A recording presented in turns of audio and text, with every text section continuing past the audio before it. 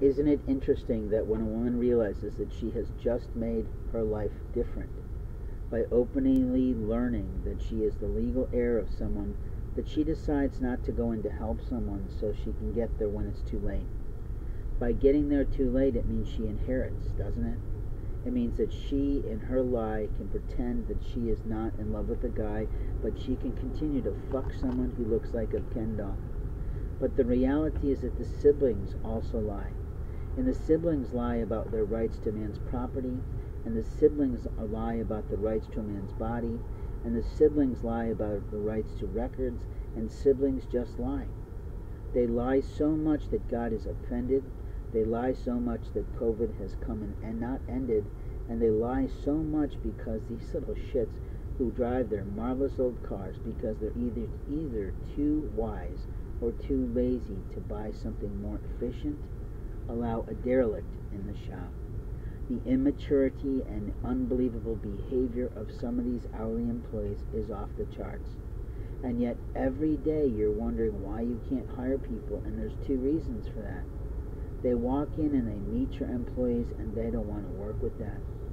I'm literally a guy who watched a young man who clearly is just a touch overweight, but clearly has sort of a gentle gait about him, get laughed at because he changed his hair color back to match his license, I would presume.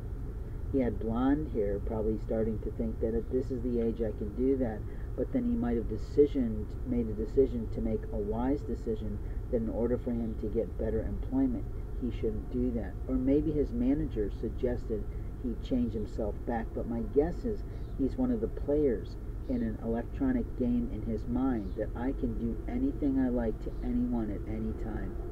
I don't have to treat them with dignity. I don't have to offer them any help. I can interfere all day long with what someone posts online, and I can do it because I'm myself. But the bottom line is you're not doing your job. The bottom line is you are working on someone's paycheck, working on a corporate budget for the accounting of employees, and you're not performing in a way that doesn't make you look anything but odd. You see, most companies have standards about where men can smoke. Usually it's behind a building or out in a vehicle so that you don't embarrass a company. Now, some companies are relaxing their principles, and some companies don't mind that your employees smell like all sorts of things that they toke and they smoke. But most people feel that anyone who's involved with molestation or abuse or verbal assault don't deserve to have jobs at all. You see, a homeless person didn't get homeless by himself is not true. But some homeless people do get there without help from siblings or you. Meaning that siblings attack a family member so that they can have more inheritance and siblings lie to police so that they can ruin records, and siblings steal clothing so they can destroy it. But if you're interacting with those siblings thinking you're going to make some difference in someone's life, you're not. Because you're not Jesus Christ, and you are not a part of a person's life. And your two seconds of interactions each day doesn't make you anything more than you are an employee in an hourly wage. In America, we have the right to pursue higher education. In America, we have a right to pursue some sort of elevation. In America, we have the right to not be harassed on a sidewalk. And in America, we have the right to lay ourselves down if we're tired and not be abused. In America, we have the right to personal safety. And in America, we have the right to professional security. What I mean by that is that there's always some fellow there's always some woman that think they have more rights to you than they should. They overstep their boundaries. They're not a part of your family. You would never choose them to be that. And they just think, I'm in charge of you. And I'm going to do that because I've got free time, free situations in front of me.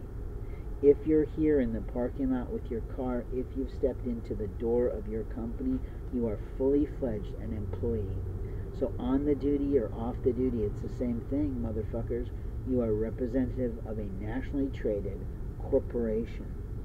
And you don't have the right to use your personality or your communication style to humiliate or to harass anybody who's struggling in poverty. But there is a difference in the players. There's most likely a difference in their attitude. There's definitely a difference in what they'll tolerate. And there's a difference for you. But if your employees start harassing and pushing people out in discrimination, I promise you, you're going to get the response that's sort of over the top from the black community who didn't like an attitude of one of your employees or who didn't like the attitude of a 20 year old talking to a 50 year old man as if he didn't have the right to communicate his concerns about your Wi Fi network and the things that ugly law enforcement do.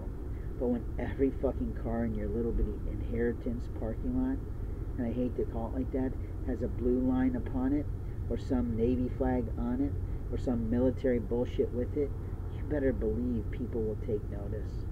You can wave your little flag all you want to, but make sure your flag is representing you. Because when you walk down the street and harass people, when you hide in a shop and piss on people, when you interfere with their lawful rights to create content on their business website, you do you. But the reporting that I do is about the abuse that I endure every single day from American citizens and not who think they have the right to win the day over a total stranger's life.